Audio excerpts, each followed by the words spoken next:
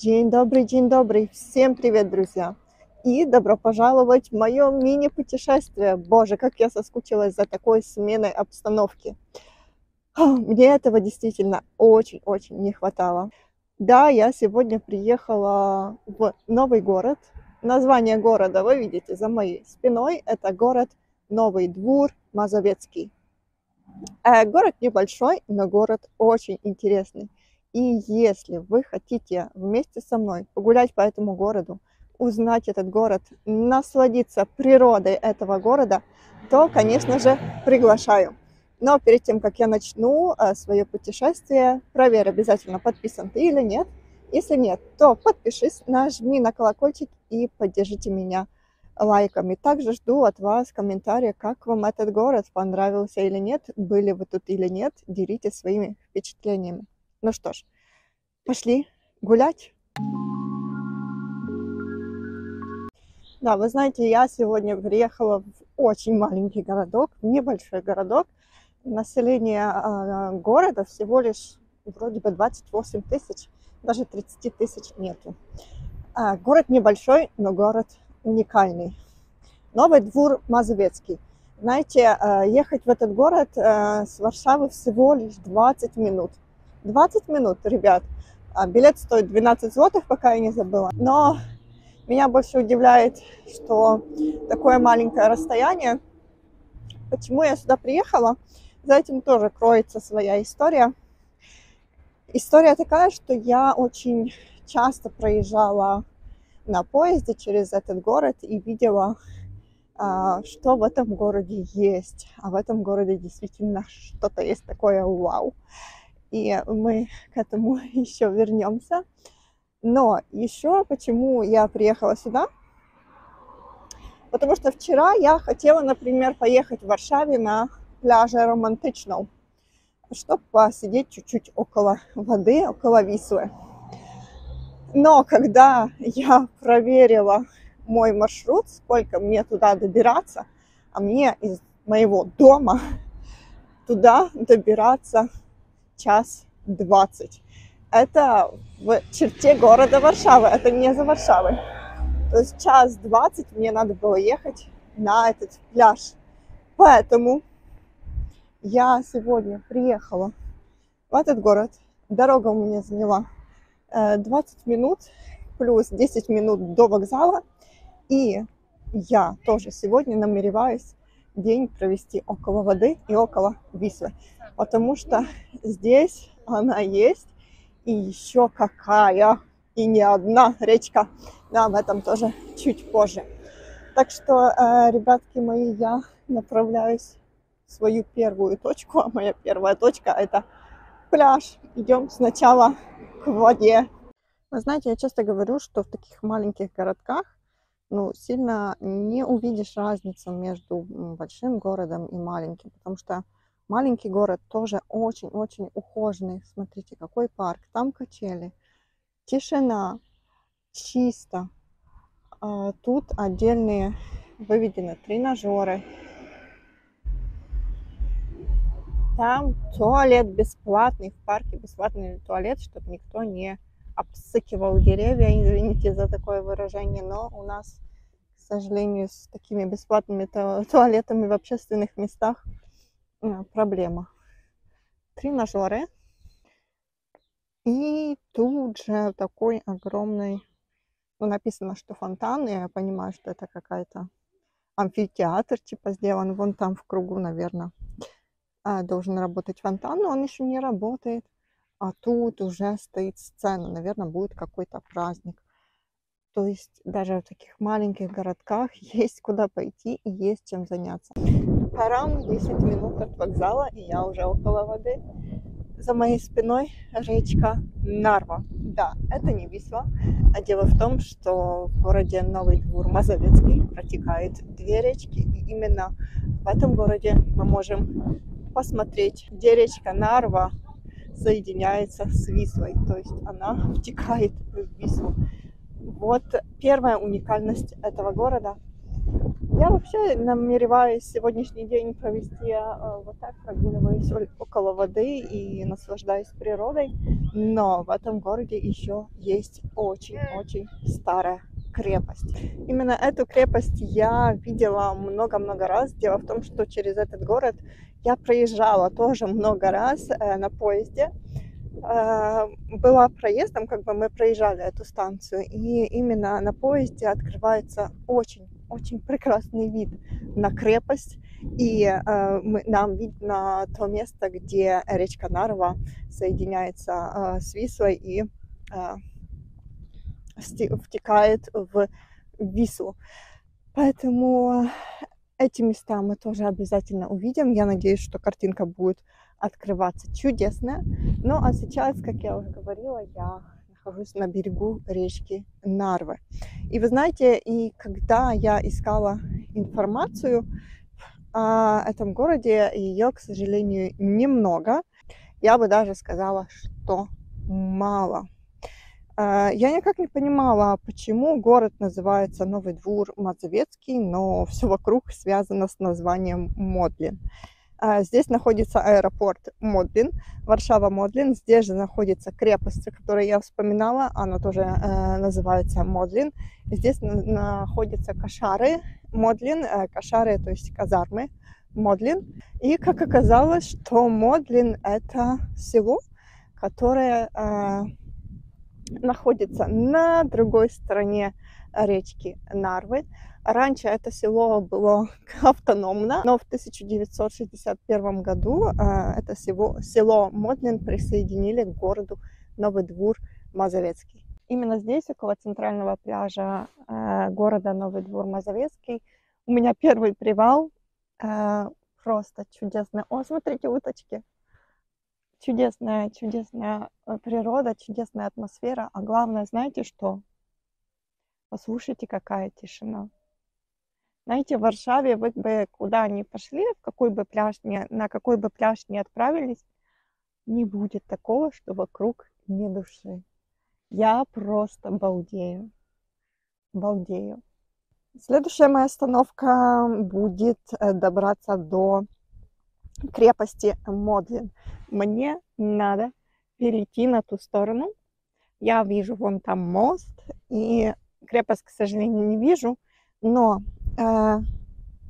чтобы э, добраться до крепости Модлин, да, нам надо перейти э, через на другую сторону речки Наров. Но, насколько я знаю, самый лучший вид открывается именно на этой стороне. Поэтому передо мной дилемма, что делать.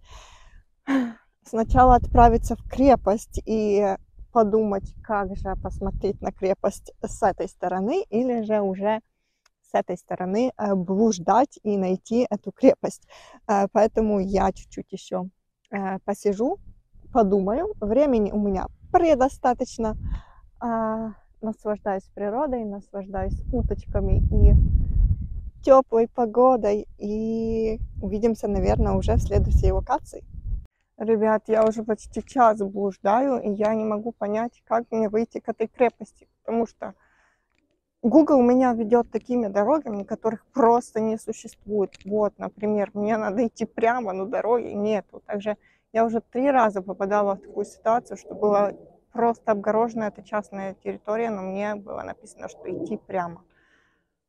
Я уже перешла на другую сторону Нарвы, я уже была на мосту через Вислу. Короче, я уже блуждаю я уже устала. Я думаю, ну его нафиг ту крепость, пойду посижу около речки и просто сделаю себе такой пикник. Не знаю, что мне делать. А, думаю, что последняя моя попытка в этот обход. Но не знаю, дойду я до крепости или нет. А это, кстати, а, Брама Остролецка. Остролецка. Я думаю, что это одна из построек, которая тоже принадлежала к крепости. А, на разных берегах э, речки и Висла, и Нинаров э, были еще такие постройки, которые входили а, в форт и были как оборонительные здания через переправу, через Вислу. А, то есть они защищали берег. Не знаю, что мне делать. Знаете, здесь очень-очень много велосипедистов. И я вот так брождая на своих двоих, все чаще и чаще задумываюсь над тем, чтобы купить себе велик.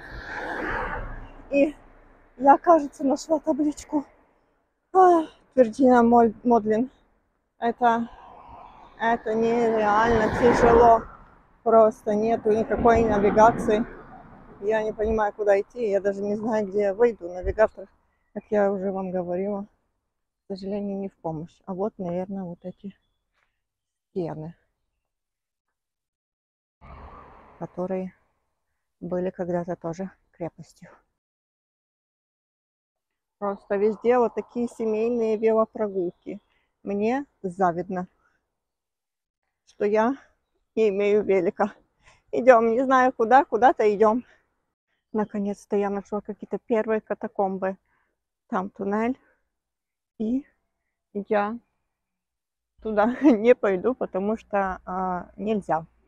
Даже если ты хотела, то бы не пошла. Неизвестно, что там ждет. Но Э, надеюсь, что я на правильном пути, и я наконец-то выйду в крепость. Наконец-то я нашла хотя бы одну карту для туриста.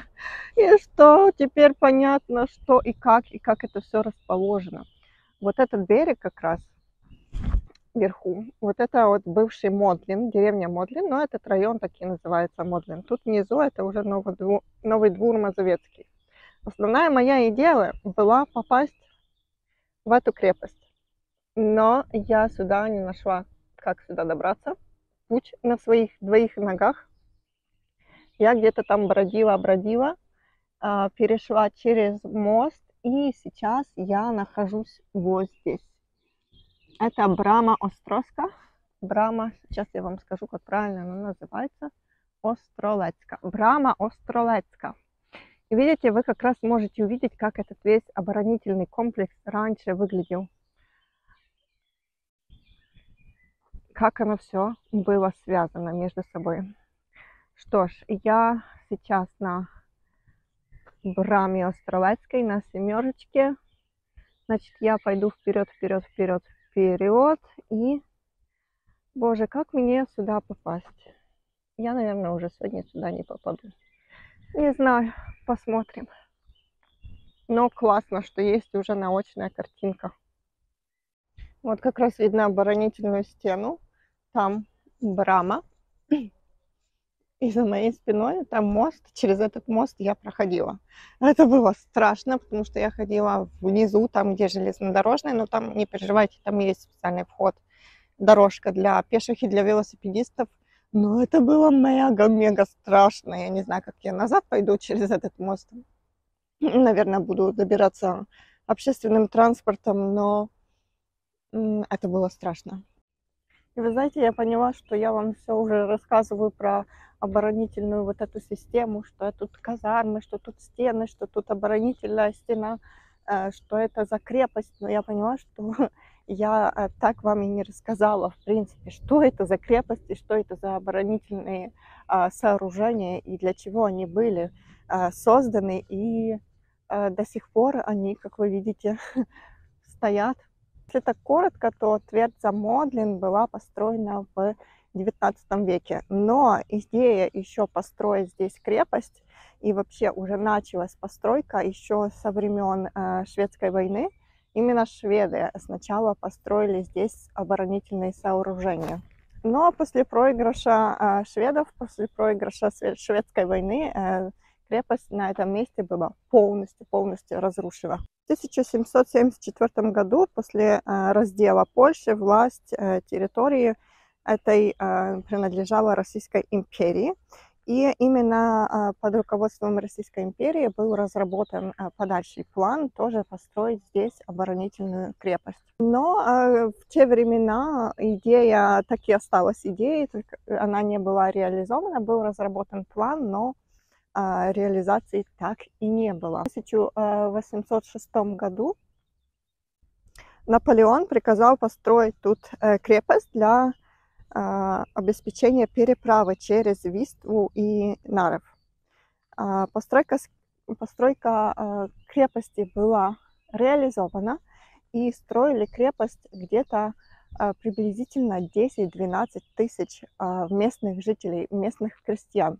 То есть были брошены просто все силы на эту постройку крепости. Но после проигрыша французские войска тоже покинули эту территорию. А крепость была сильно разрушена и опять же вернулась власти Российской империи. Именно под руководством Николая I крепость была расширена, модернизирована, увеличилась территории, которые она э, занимала, и была построена еще дополнительная оборонительная линия крепости. Но, к сожалению, во время Первой мировой войны крепость, как ни странно, она очень быстро пала. Э, Что-то там надо мной.